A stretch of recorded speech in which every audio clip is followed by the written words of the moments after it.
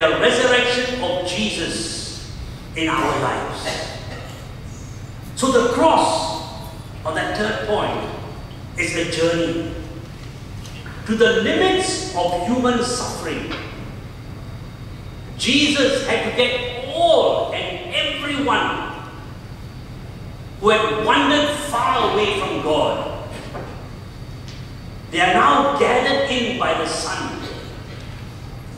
So if you ran so fast as you can away from God, for those who are to be baptized today, you've been running all your lives. So where can you run to?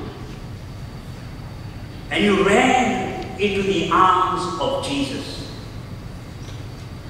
We call it the outstretching of the Trinitarian persons. So in the resurrection, when the Son and the Spirit returns to the Father, it is gathering the whole world. You and everyone else. People say, no, God can never forgive me. I'm a great sinner. I've done so many.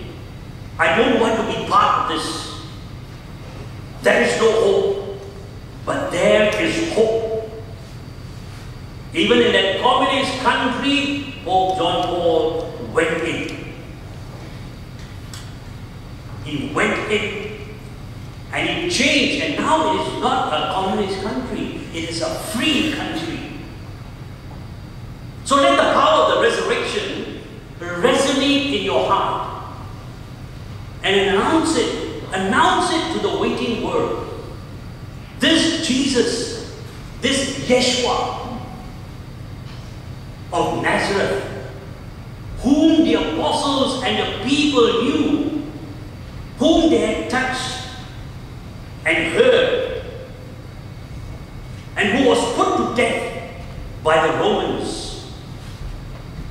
This Jesus whom they know and put to death and buried was alive again. The power of God. And that is the resurrection message to all who are to be baptized today.